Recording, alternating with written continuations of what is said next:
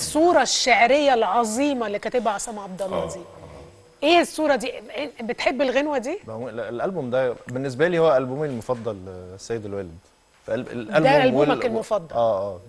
لا صورة شعرية عبقرية. طبعا مودي عامل لحن عبقري. أيوة. وده من الأغنيات اللي اتعملت لك فيديو كليب أنا فاكراها. في حصان كده آه، بيجري و- وحاجات كده. وكسبت الأغنية دي الجائزه الأولى في مهرجان الإذاعة والتلفزيون أياميها. لا دي أغنية عظيمة. كتير. آه عشان كده بس هي المفارقة إن الألبوم ده نزل 86 ما باعش أما الأغنية اتصورت بعد 11 سنة سنة 97 وكسبت اتذاعت كتير. فالناس جابت بقى يسالوا ليه ده كان فيها فين؟